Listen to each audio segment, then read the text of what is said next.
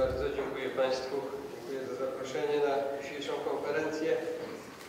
Y, Po tym pięknym, a, a przede wszystkim bardzo mądrym wystąpieniu pana profesora Krzysztofa Krajewskiego jest mi co niezręcznie y, zabierać głos, Y, ale ośmielam się między innymi dlatego, że jestem tym bardziej dumny, że w najbliższym czasie najprawdopodobniej będę miał zaszczyt z panem profesorem bliżej współpracować w sprawach jak najbardziej doczesnych i aktualnych.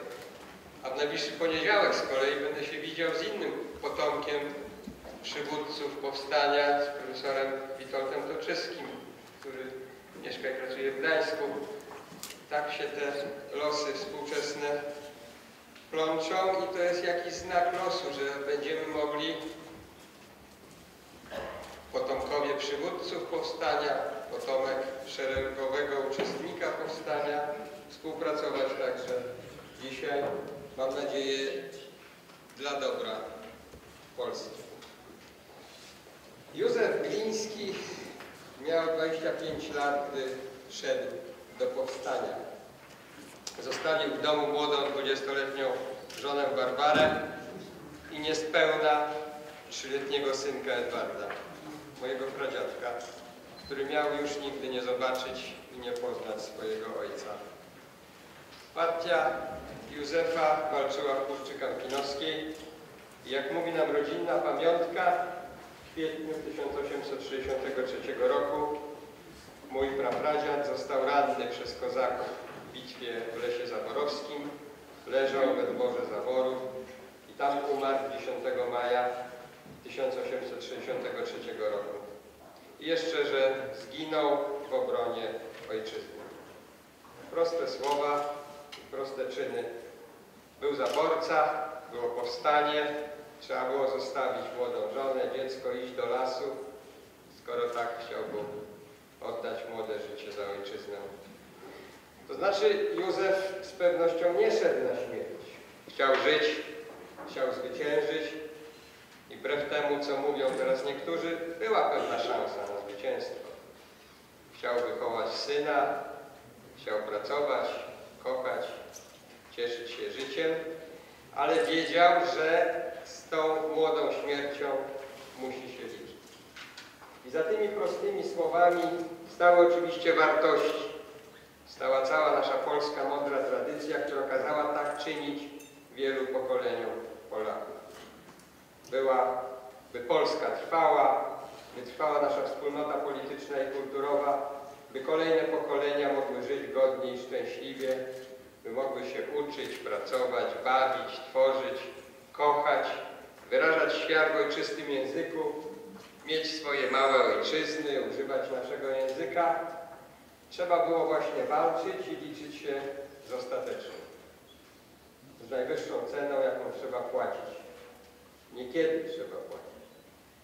Ten piękny, choć czasami tak trudny świat, ten polski świat, mamy dzisiaj dzięki tamtym powstańcom i tym podobnym, co byli przed nimi i po nich. Co potrafili być na ich miarę. I ten testament być na miarę naszych ojców powstańcy styczniowi nam pozostawili. A był to, jest ten styczniowy, jest to testament naszej chrześcijańskiej cywilizacji, która mówi, że obowiązek wobec wspólnoty politycznej jest ponad wszystko. Ale obowiązek, nie tylko, choć to najważniejsze, jej obrony, ale i obowiązek solidaryzmu społecznego, odpowiedzialności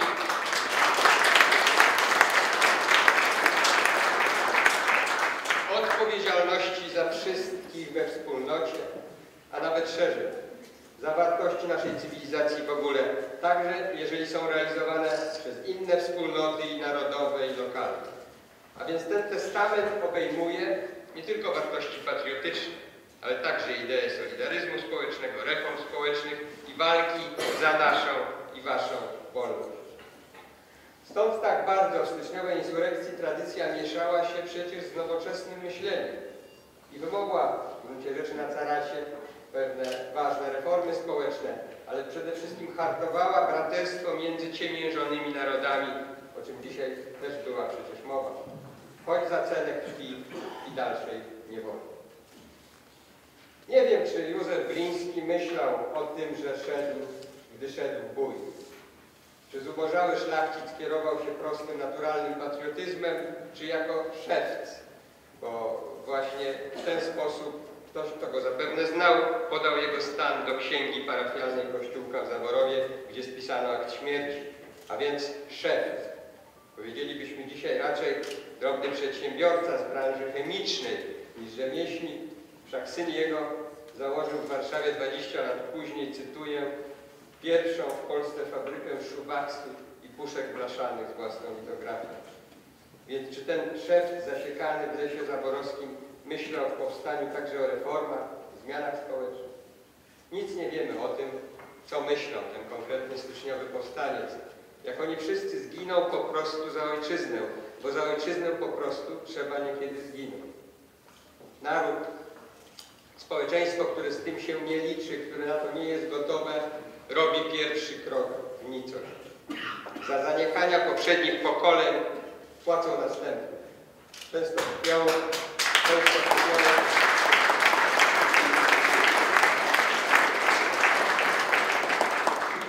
często krwią. Jeszcze większą, niekiedy niebytem. I oni, ci styczniowi o tym wiedzieli, szli w mróz, śnieg, często już bez nadziei, ale z nadzieją dla innych, dla następnych pokoleń. Więc co to znaczy być potomkiem, spadkobiercą powstańca dzisiaj?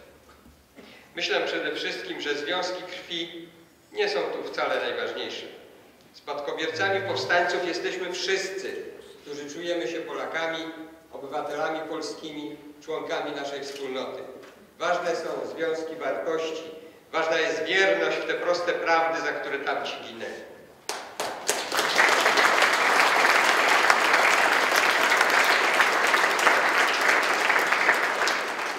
Dziś może rzadko trzeba dla wspólnoty poświęcać życie.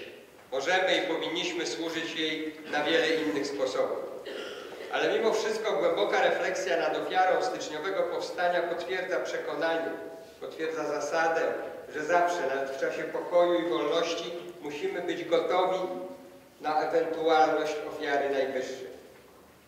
Rachunek prawdopodobieństwa z punktu widzenia poszczególnej jednostki obecnie nam sprzyja. Możemy służyć ojczyźnie lżej i przyjemniej, może dlatego, że zapłaciły za to nasze poprzednie, za to nasze poprzednie pokolenia. W przypadku nas współczesnych głównie pokolenia wojny i stalinizmu. Ale o cenie najwyższej pamiętać musimy zawsze. Brzmi to może dziwnie w świecie hedonizmu, konsumeryzmu, ciepłej wody w kranie, ale bez tej szczególnej czujności, świadomości nie będziemy prawdziwie odpowiedzialni i nie będziemy na miarę naszych ojców i matek. Prędzej czy później stracimy naszą republikę, naszą wspólnotę. Ten testament, powtarzam, dotyczy i obowiązuje nas wszystkich, niezależnie od tego, czy jesteśmy, czy nie, fizycznymi potomkami powstańców styczniowych, legionistów, obrońców Lwowa, bohaterów wojny 20 roku, II wojny światowej, żołnierzy wyklętych, ofiar stalinizmu i PRL.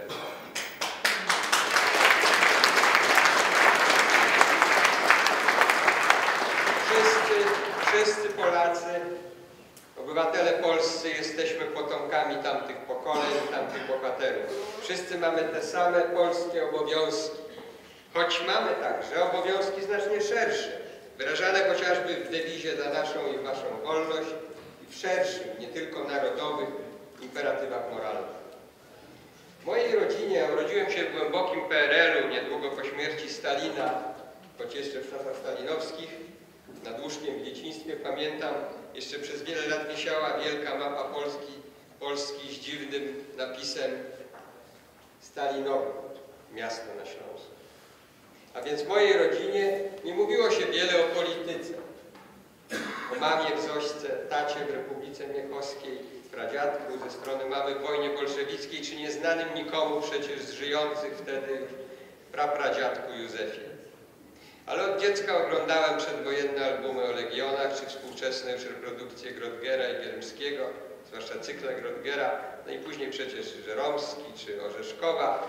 Wszystko to uczyło tamtego powstania i tego, co znaczy ojczyzna.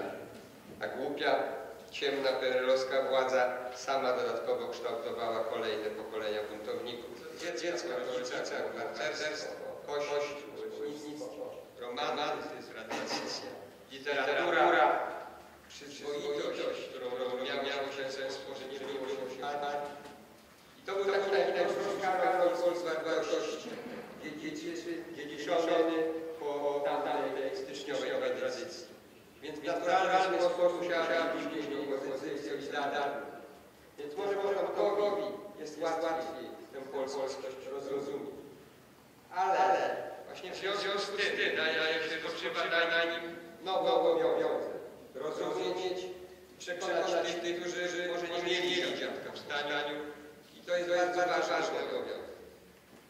Nie wiem, o czym myślał 25-letni Gliński umierał w maju 63 roku Robert A patrzą może rosnę przez na nadchodzącą się mieszkańcowską wiosnę. Chciałbym żyć, podnieść, jechać niedaleko Warszawy, tęsknił, rozpaczał za żoną, za synem, za synkiem, przeklinał cierpienie, swoją ofiarę bez młodej śmierci, męczył się leżeć od uczucia. Był mężem i dumny z rozproszonej przegrany. Tego nie, nie wiem. Choć myślę, że to dla nas straszne, ale, już wtedy Bogu, choć żyli jeszcze przy przywódcy, powstanie wciąż trwało, zaczęto budować instytucje pamięci przetrwania, narodowej żałoby i legendy. Ich zadaniem było przekazanie sensu i wartości, dzięki którym istnieje ewa, kształtuje się nasza wspólnota, nasza polska wspólnota. Może tam, tam też staniec, może śmierć proroczny Boże, że tego wywalinie do końca nie wiedział. Nie uświadamiał sobie pełni. On wiedział tylko, mam nadzieję, że jest pełen dobrze najprostszy przez swój obowiązek, obowiązek wobec ojczyzny. Ale my dzisiaj wiemy, nie zważając na głupstwa wypisywane w Polsce, że, że ich, ich ofiara była potrzebna, była bardzo potrzebna dla Polski, także tej obecnej. Także po to, by ludzie zaginieni, chorzy z emocjami dziś mieli prawo wolnej Polsce wpisywać głupstwa. A my mamy obowiązek treści tak, tak właśnie na nic, na nic więcej rezygnują. To są po prostu głupstwa. Dziedzictwo, to tak, tak zrozumieć, wiedzieć, że coś, coś jest, jest najważniejsze. I że trzeba czasem płacić tak, tak, tak, tak. najwyższą cenę. Cenę życia jednostki, życia i swej, swej tożsamości nie straciła ojczyzny.